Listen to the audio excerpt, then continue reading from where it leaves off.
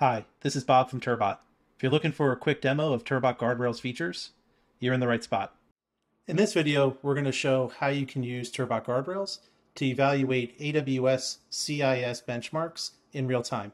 One of the benefits of using guardrails to assess CIS is that it instantly evaluates any changes that are happening in your environment. So whether there's a new resource or an updated resource, CIS recommendations will immediately be assessed and then alerted to your team members if there's any recommendations not being adhered to.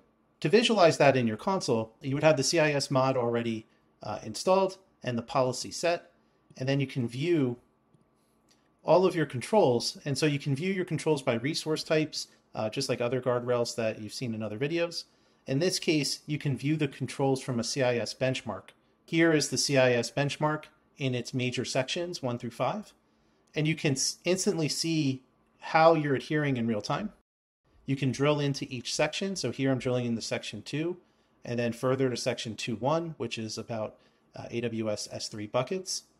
For this demo, we're just going to focus on section 214, uh, which is around uh, ensuring that public access block settings are set. Within the reporting here, you can go all the way down to the S3 bucket and see whether or not it's adhering to that particular recommendations. Uh, similar to other Turbot guardrail policies, uh, you can enable these uh, controls per resource. And so in this case, I have these enabled across all of my resources and it's, and it's evaluating these Acme demo buckets. But if I want to make an exception to the rule where maybe this policy does not apply to Acme Demo 5, I can go into the policies and specifically for this particular bucket, I can change the inheritance of it being evaluated in this case, skipping the policy on this particular bucket. So now this policy is skipped. And then if I go back, I'll see now that this particular bucket on this particular recommendation is no longer being evaluated. And then I can see that within the reporting here that Acme demo is skipped where the rest are being assessed. In these cases, these are in alarms, these are in okay state. Guardrails will evaluate any changes to these buckets. So if I go and create a new bucket, we'll instantly see this part of the reporting list here. So if I go into Amazon S3, go and create a bucket. So here I'll create an Acme demo 6 bucket. The default is actually to block all these configurations, but as, as we know from uh, general uses, these configurations can change. One can set this when they create a bucket accidentally or intentionally uh, with the wrong configurations, or as the bucket is running, configurations can change over time. So here we have a bucket created, so this Acme Demo 6. And within that, we can clearly see that the block all public access is set to off.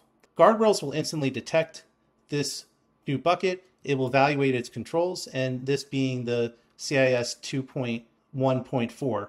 And so we can already see this are already evaluated here. The Acme Demo 6 bucket popped up within seconds, and now it's showing that the re recommendation is not met.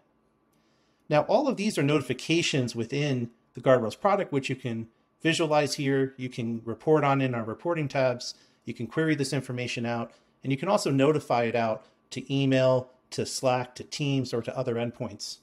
So in this example, this new recommendation not being met alarm this is already sent to my Slack channel, and it's show, showing here that my Acme Demo 6 bucket is no longer adhering uh, to that recommendation. Now, when you get these alerts, you can also take action on them.